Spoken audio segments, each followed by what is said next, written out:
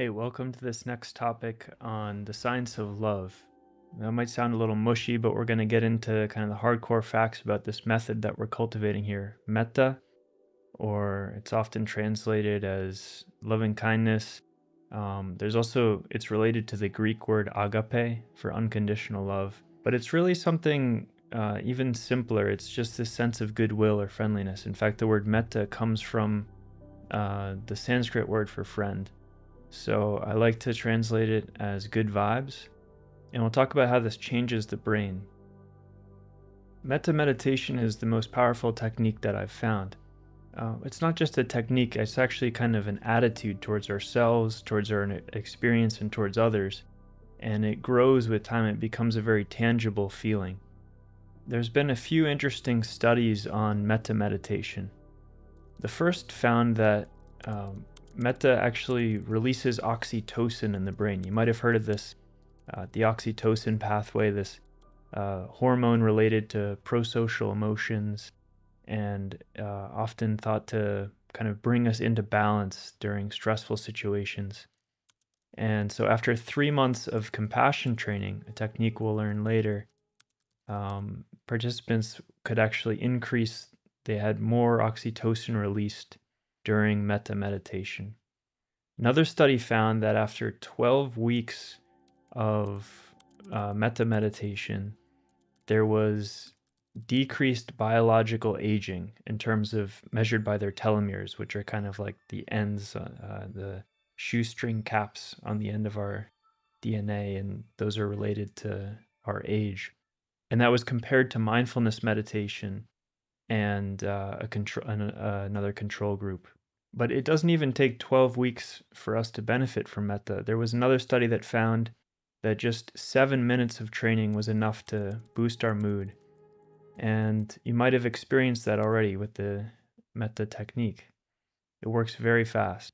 And then finally, a fourth study was very interesting. It compared uh, beginners at loving kindness, at, at metta meditation, with expert practitioners. And what it found is that the experts were using less of their default mode network, less kind of self referential, or there was less sense of a self, it seems, from the neural activity when they were practicing the technique, when they were generating metta. And what this suggests, and what I can share from kind of experience and talking with others, is it seems the metta becomes more and more of a selfless quality. It's almost like it kind of dissolves the sense of self as it develops and as you continue to practice. And it also might be a sign that it becomes more effortless for people with practice. A few more benefits of metta that I've personally noticed but haven't been researched. Uh, well, the first is just that it feels good. I think anyone can see that for themselves. It's kind of this warm, glowing feeling in the chest, and that gets stronger as you practice. When I first started out, I had really very little feeling there, and I wasn't even sure if I was generating the metta. And then it just becomes bigger and bigger as you practice more. It starts to become very enjoyable. What that does is it collects the mind and it increases our mindfulness. So that's another benefit. And then lastly, life just seems to flow easier and we can have smoother interactions with others and those around us. So that's very subjective, but it seems that metta meditation can improve our relationships.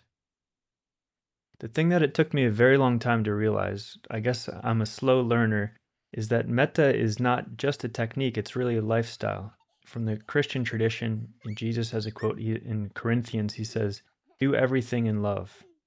A lot of these things sound cliche, but when you actually train this attitude and you can notice when you're in this um, attitude of metta and how that feels and how that you approach people with that, you can use the four R's to switch from a kind of tense or a rushing mindset or not treating somebody with a lot of patience and care, you can recognize that tension, release it, and then bring up the metta with a smile and send that to them and relish in that feeling and remain with that as long as you can.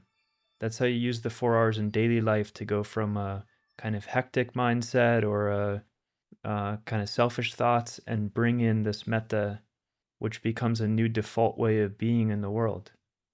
Every time we treat others poorly, or we have, even when we judge ourselves, this creates some friction in the mind, and it, the mind kind of contracts and closes down.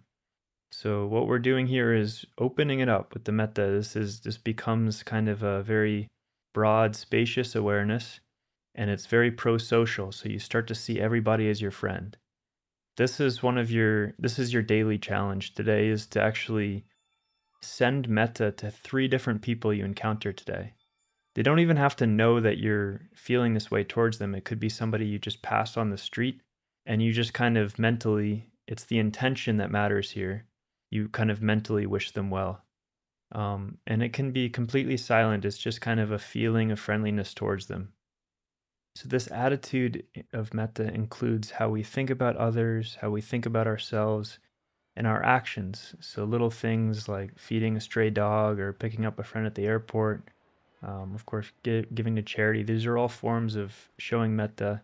And then also in our thoughts. And then this becomes our kind of default way of thinking. This is how we're rewiring the brain. Remember that mental fitness is an all the time practice. Whatever we do to get off of autopilot can help rewire our brain the uh, formal sitting practice that you're doing in this course is very important because this is kind of like going to the gym when you formally train your muscles. But then, just as a, an athlete who might go to the gym and work hard, if they were to just eat junk food all day and treat their body poorly, the benefits in the gym wouldn't show up as much. They wouldn't, their muscles wouldn't kind of grow. And in the same way here, uh, we have to think about what are we feeding our minds and what kind of attitude do we have off the cushion because that's where we can actually train all day long and then instead of just 10 minutes of bene- benefit or 20 or 30 minutes when you're sitting you can begin to get you know 12 16 hours as long as you are using the recognized step and using the four R's throughout the day, you can be training your mind in whatever you do. You can be chopping the vegetables with metta, just this kind of attitude of friendliness and care towards whatever you do. And then your mind is constantly being trained. So have fun living in the metta-verse. You can really start to enjoy this and notice what brings you out of it. Notice the kind of triggers and little things that take you out of that mindset. And then that's an example through recognizing and releasing those kind of negative or buggy programs in the mind you can start to inhabit this very happy, very present way of being more often. In order to do that, in order to make this a lifestyle, I encourage you to start having a walking meditation practice. You can spend 15, 30 minutes walking back and forth, uh, keeping your gaze kind of 45 degrees just angled in front of you so you're not looking here and there, and continuing to stay with this feeling. Thank you for taking the time to train your mind and this is uh, part of the FitMind nonprofit. Our goal is to make mental fitness and deep meditation accessible to everybody. Um, tomorrow, uh, in the fourth lesson and training, you'll further develop your metta skills, and we'll talk about how to have fun all day long. Thank you.